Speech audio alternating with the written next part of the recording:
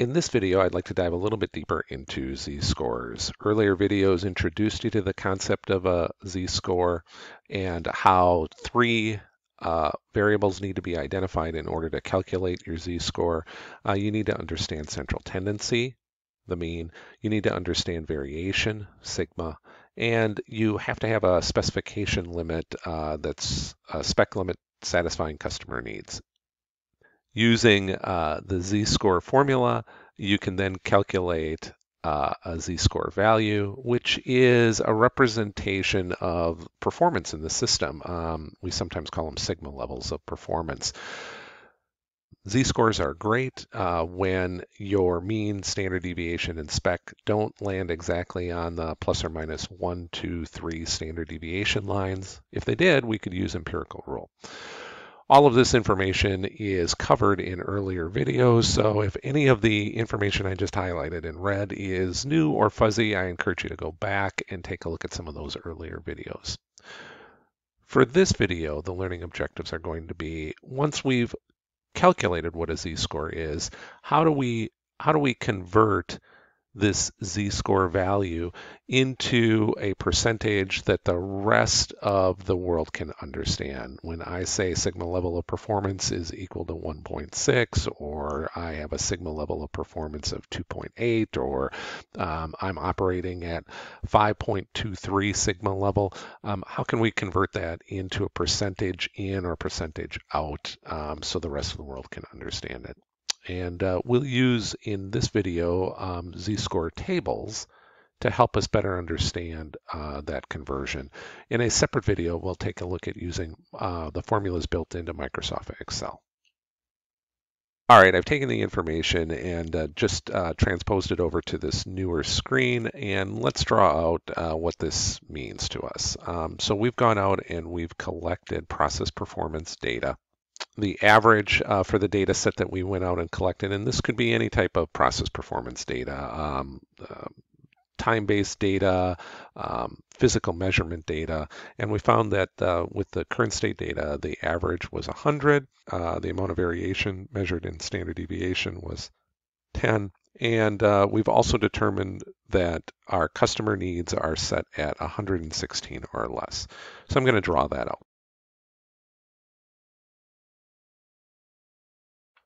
Okay, so I've drawn it out, and now what I want to do is calculate the percent that's below 116. Uh, the first step that I'll take is I'll calculate its z-score value. Okay, so now I've got the sigma level of performance represented as the z-score.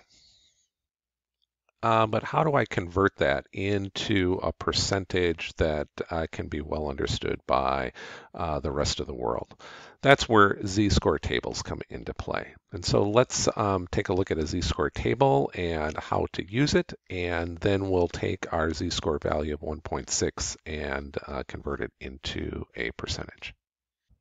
All right, so I've uh, cleaned up the screen a little bit. I've got my z-score of 1.6 calculated, uh, visual uh, performance data drawn right here. How do we convert 1 point, uh, z-score of 1.6 into a percent customer satisfied? Well, I'll uh, I'll I'll first find a z-score table. Now, in your workbook. I've got a number of z-score tables already inserted. You can do a simple internet search. Every business stats textbook will have a z-score table. Um, but when you do look for z-score tables, the first thing that you want to identify is is the information for a one-sided z-score value or a two-sided z-score value. In the same way that you can have specification limits that have just an upper spec limit, like in this example, we had uh, an upper specification limit only. There was no penalty for anything too low. But in some um, in in some process improvement projects, uh, you may have a two-sided uh, specification limit. Depending upon the type of process that you have, if it's one-sided, uh, you're going to need a one-sided z-score table. If it's two-sided, we'll need to take a look at a two-sided z-score table, and we'll do that next we have one-sided data. So let me get rid of this example info. We'll then uh, take a look at the um, z-score value of 1.6, positive 1.6, and we'll look up that information below. Uh, and I'm going to scroll down. Here we go. Here's our value. Z-scores are sometimes called standard scores, and we'll look down, down, down, down, down. Here's 1.6, and that equates to a percentage of 94.52. Know that it is possible using the z-score formula to have negative values. Let me give you an example of this. All right, in this second example, um, let's now say that the specification limit isn't at 116. Let's say the spec limit is at 84. I'm drawing it out, and you can see a much lower percentage of uh, people satisfied would should be what our actual percentage is. Um, if we do the z-score calculation, spec limit at 84 minus 100 over 10, we're going to end up with a negative z-score value. You can have z-scores that are positive or negative. Um, and so the table should also reflect that, and it does. Uh, let's now take a look and find negative 1.6. There it is. And that would equate to about 5.4, eh, let's call it 5.5%. First, make sure that your z-score table reflects the type of process performance that you're dealing with, one-sided or two-sided. Then uh, just do a quick lookup. Let's take a look at a more uh, complicated table next.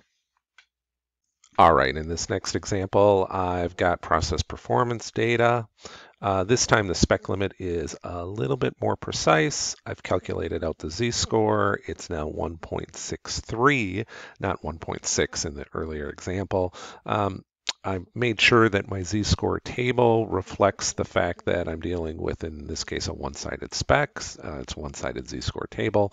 And um, here's a more detailed table. You'll notice that you've got uh, tenths down uh, as column values, and then you've got hundredths across as row values. So if I wanted 1.63, I would go down the z-score table to 1.6, and then go over to the hundredths value 0, 1, 2, here it is.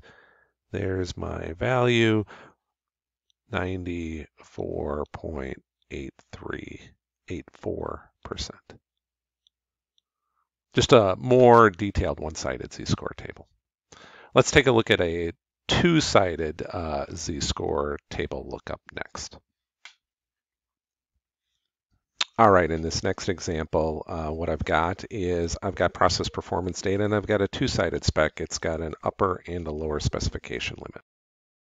After calculating mean, standard deviation and our point of inspection, our spec limits, we determine that the z-score value is 1.60.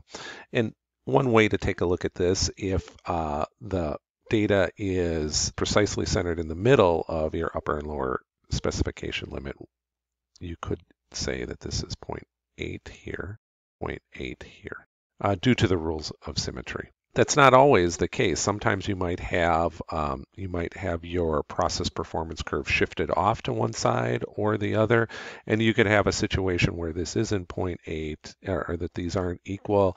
This could be something like 0.2 and um, point, um, 1.4 if you were shifted one way or the other. But in this example, the data is uh, centered uh, in the middle uh, of both the upper and lower specification limits. So we've got 0.8 on one side, 0.8 on the other for a z-score value of 1.6. Then uh, what we would do is we take a look at a two-sided z-score table. An example of one is right here.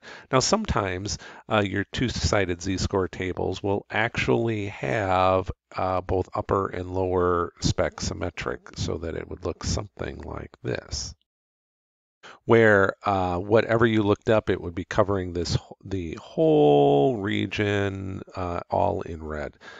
Um, but frequently for two-sided z-scores, knowing that you don't always have the data centered between upper and lower points of inspection, your table will look like the one that we've actually got. So let me clean it up. Where the z-score value is calculated from the mean to that point of inspection as we see here. So we'll take a look and calculate 0.8 on one side, 0.8 on the other side, and get our z-score of 1.6. I'm going to look down for 0.8. Here it is, 0.80 is point, 0.8 is equal to, uh, we end up with just over 57% for the percentage from the z-score value. So now you've seen how to how to convert z-scores to percentages using uh, z-score tables, uh, making sure that you choose the appropriate table, whether it's one-sided or two-sided, depending upon your specification limits. Um, in the next video, we'll take a look at calculating z-scores using Excel. Um, easier in some ways, but a little bit more abstract. I always like to start with tables first with individuals because it's more visual, easier to visually understand first. Um, but in reality, most of the time when we're working with process data, we're not using a table. We'll use Excel and just uh, plug the numbers in. And most statistical packages, when you visually plot out the data as a histogram, um, you'll also get your z-score values and your conversion to percent in, percent out automatically calculated for you too. How to use uh, z-scores in Excel coming up next.